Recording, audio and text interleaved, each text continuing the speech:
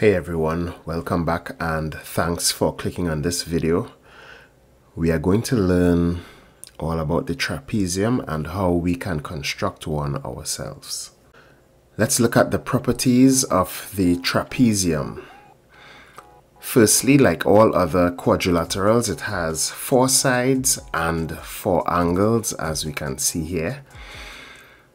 Again, like all other quadrilaterals, all internal angles add up to 360 degrees. Now, where things differ a bit is there are only two parallel sides or two parallel lines as we can see.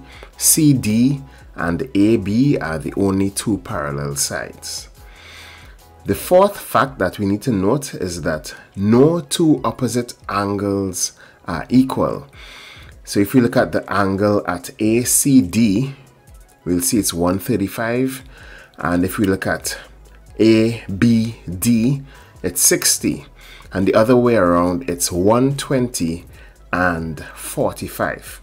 Now that we have covered the properties, let's look at how we can construct this ourselves. Okay, so let's go. Of course, we'll start with our base line, our first side. Let's turn on ortho mode so that it's nice and horizontal. So we have a base side or line of 500 millimeters. And what we're going to do next is draw two arcs at either end of the line. Now these arcs are important because they will enable us to construct our 45 degree angle and our 60 degree angle. These are our two base angles. For these arcs, we use a radius of 100 millimeters. Um, you can really, you can use any radius, it doesn't matter. But especially for the 60 degree angle, you need to take note of it and we'll see why in a few.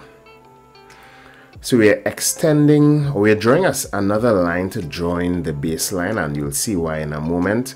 But off camera, we have labeled our baseline line AB. So line AB is 500 millimeters as you can see here.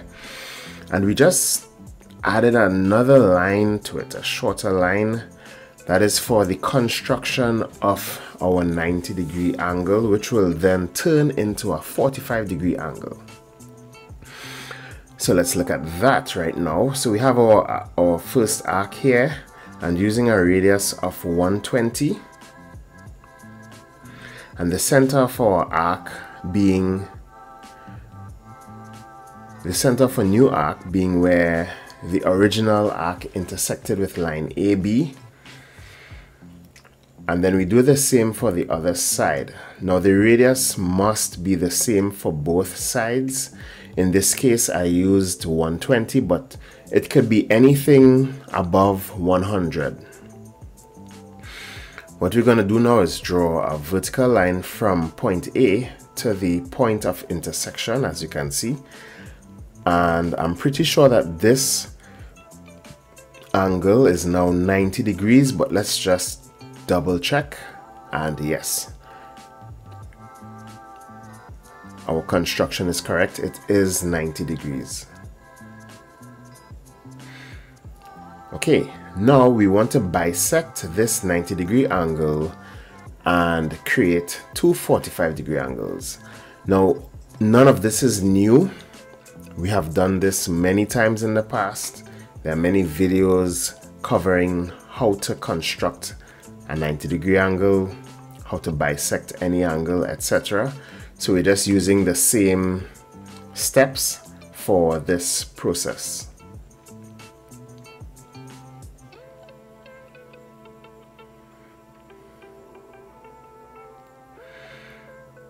Right, in this case I used arcs with a radius of 120 and they intersect quite nicely there. So we're gonna draw a line. Now this is actually another side of the trapezium. We're going to draw a line from point A passing through the point of intersection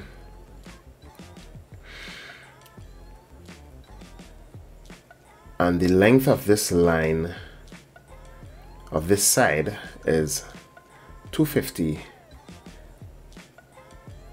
I believe Alright, and we measure the angle and you can see the angle there is 45 degrees. It is correct. As we would have noted in the beginning when we covered the properties of a trapezium, two of the sides must be parallel. So the next side we're going to draw, which will originate at point C, is going to be parallel to line or side AB.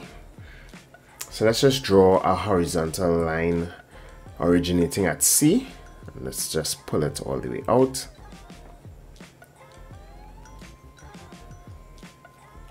Great, so these two lines are parallel. Next, we want to construct the 60 degree angle at point B. Now the first arc that we drew had a radius of 100 and this is important because we need to maintain a 100 millimeter radius. So we use this point of intersection. Again, nothing new. We know how to construct a 60 degree angle and our radius we keep it at 100 millimeters and where the two arcs intersect if we draw a line from point B passing through the point of intersection, this angle will actually be 60 degrees. I'm trying to get this lined up, but it's giving a bit of trouble. So I'm simply going to stop the line there, the side, and then I will extend it.